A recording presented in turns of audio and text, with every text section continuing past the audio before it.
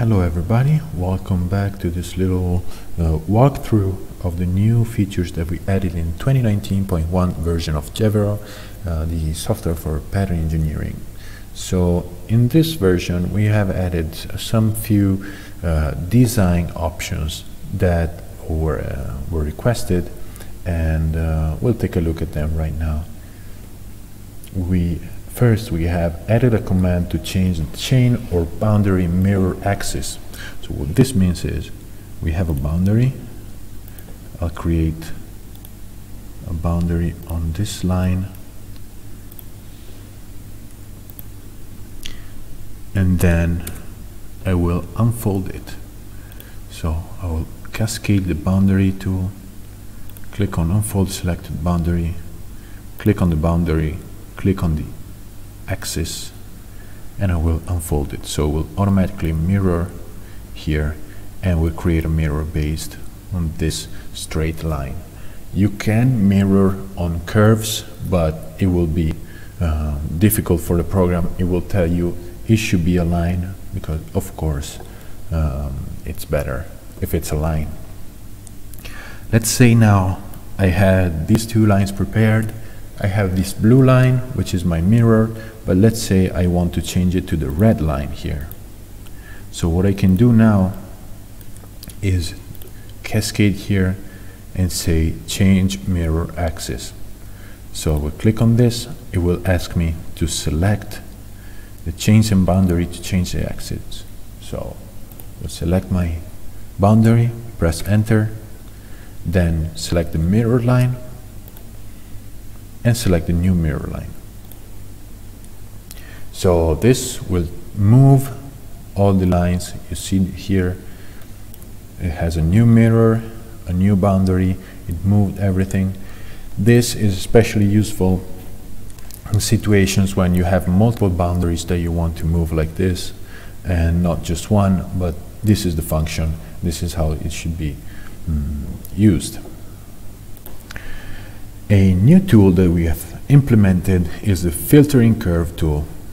So we have it here. We know the rebuild. If you click on a line, click on rebuild, we can specify the number of points that we want on the line and it will try its best to rebuild the curve with the number of points that you have decided. So I want a 7, of course it's not enough, let's say 15 and it will make it a little smoother. What we have worked on is a tool that works the other way around. So you do not give the number of points, but you give a specific tolerance and it will tell you the number of points that will be generated. So I have this line specifically. You'll see why it has an angle. This is a, a 90 degree angle, more or less. Not perfect. Uh, if you right click on the same button of curve rebuilding, we'll select the line and then have some options here.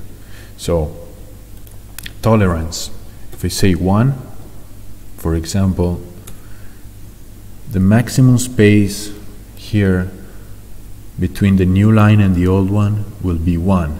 So if I say more, like 10, it will have, of course, less points.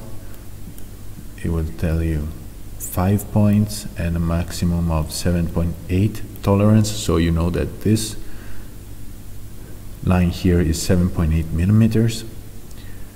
But it will tell you the number of points that it has generated and you can specify the tolerance. So you see here that I had a corner and the angle remained right there. So let's say 2 okay uh, this is the cutoff angle so if I say 91, this will smooth out the angles after a certain degree. So now um, I put 91 just to be more clear. Uh, if you put 88, so less, you see that it will keep all the angles over 88 degrees and it will smooth out anything else. I'll do it again, 91, it will make a curve, but with less than 90, how we specified, it will be um, it will be cut off.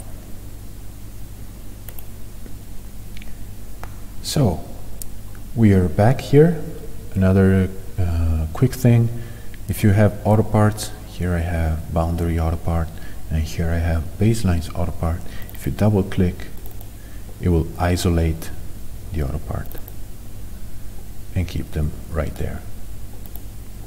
So that is one more feature, one more visualization option. Um, we can now show or hide master while picking objects. What this means is, if I want to isolate these two lines and I click on this button here, it will show me just these two lines and then I can show them back together. If I go over the options and toggle this zoom to part extent while hiding my master, say OK. When I select my line and click on this, it will put uh, what you have selected in the center of the viewport. And then you can always show it back. So I will try with this. Same thing. You can also, we have also a button to toggle the generating lines of a part. So I'll create a part. I have this here. Select the boundary and say OK. Now I have my part. Here I only see the boundary because the boundary is the only thing that is inside my part. But if I, uh, if I tick this option, I will see every line that is involved in the creation of this part. So you'll see this all these three lines, the mirror, uh, was the mirror uh, before, and you can edit, and the boundary, of course, will be edited. You can untoggle and see um, just what's inside the part, and you see that um, yeah, we we can do all the things, but also with this new two visualization options. Okay, next part. In this next part, we're gonna see how we'll, we have added a new feature on the convert to baseline option. So if we click on this margin, I have created a line with a margin. And I want to convert this margin. I don't want it to be dependent anymore and I want to edit it. Singularly I will select it say convert to baseline. You see that it will ask if you want to rebuild or not the curves. So if we say no we see that this will be uh, very crowded and with a lot of points compared to this which has I don't know, seven points. But, so now I'll control Z and go back to my margin. Now it's margin. Convert it to baseline and say yes. Now this will be, um, of course, filtered. Uh, you have a requested tolerance. You can say 0.2. Mm, you can say max point count. I want 8 so now will be 8 and say 0.1 so this is the best result that it can do with the number of points given you can say to delete out the input so that you can have two curves or not so if I, you say yes and enter you will just have the new curve if you say no you will have two curves the one uh, that has been uh, the, the margin and the, the rebuilt image, the, the rebuilt line. Okay, that is all for mm, the design part. In the next video, we'll take a look at the grading infrastructure um, improvements that we got.